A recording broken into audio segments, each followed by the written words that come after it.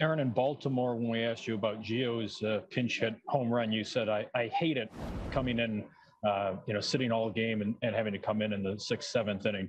Uh, how did you feel coming up there today? Uh, felt great. You know, I was watching the whole game locked in. Um, you know, kind of got my pregame little routine in with Danilo, our little, our hitting guy. And, um, yeah, just, you know, I think the biggest thing was just trying to stay aggressive in that, in that situation. I think sometimes, as a pinch hitter, I get up there and I want to see a pitch or I want to, you know, I'm thinking about a plan and also you miss your, your pitches to hit. So I just try to go up there and, you know, stay aggressive, have an aggressive mindset. You know, the first two pitches were balls, but even 2-0, stay aggressive and able to shoot something in the center. And how impressive was uh, was Domingo today? Wow, he, uh, you know, it's kind of tough following up a no hitter um, after Corey Kluber and what he did. Uh, but Domingo was right there. You know, seven shutty and throwing it over to our bullpen was uh, was pretty impressive. Because all his pitches were working today. Uh, you know, that changeup is nasty. Uh, command to both sides, even some good two seamers into righties. It was uh, just all around a great showing by him. Thank you, Aaron. Any other questions for Aaron?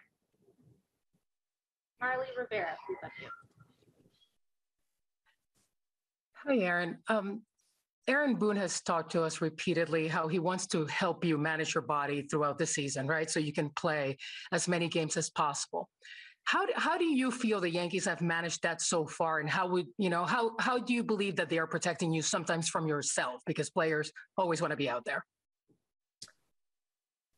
Yeah, it's been tough. You know, there's been quite a few times I've wanted to go out there and you know tell them you know I'm good to play, good to play, um, kind of you know shut me down, you know, kind of because years past, you know, I've kind of played through some stuff, and you know, lingering stuff turns into you know worse situations and injuries. Uh, you know, but me and me and Booney got great communication. You know, I think that's the biggest thing. You know, when it comes down to it, is the type of communication you have with your skipper and your training staff. And uh, you know, me and Booney got a great, great relationship, and you know, we're honest with each other, and you know, they, we've done a great job, I think, so far this season.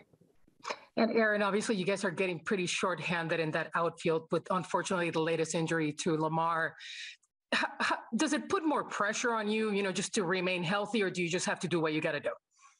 I just got to do what I got to do. You know, injuries happen. Um, you know, we saw it especially in 19 where we, you know, called up quite a few guys that might not have gotten an opportunity and, you know, they produced, you know, so I think that's kind of what is going to have to happen here. You know, is, you know, the guys up here keep producing, do what you can do. You know, don't try to do too much.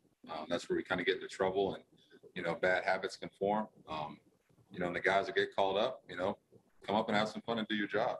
I think that's what it kind of comes down to. And, um, yeah, just don't try to don't try to do too much. We're all pieces of this puzzle, and just everybody just do their part. And, you know, we'll be in a good spot.